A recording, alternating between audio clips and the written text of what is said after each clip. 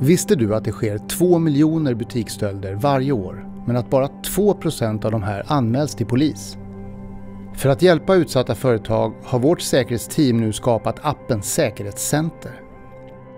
Med appen kan en butik enkelt rapportera ett brott till oss och till polisen. Appen är gratis och en anmälan tar mindre än en minut att göra. Våra experter följer händelserna i realtid och vi har ständig kontakt med polis, säkerhetsföretag och försäkringsbolag. Om vi ser att det finns risk för att fler ska drabbas av ett särskilt brott, då går vi ut med riktade varningar till den bransch eller det område som berörs. Varningen kommer ut direkt i telefonen, snabbt och effektivt.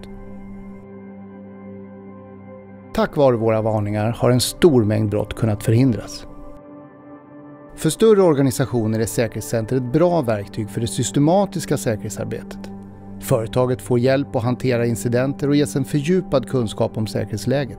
Appen har ett kraftfullt statistikprogram som enkelt kan användas för att presentera data för ledningsgrupper, vid utbildningar och i den brottsförebyggande verksamheten. Ladda ner appen Säkerhetscenter redan idag. Vi hjälper dig komma igång. Det är bara att höra av dig till oss.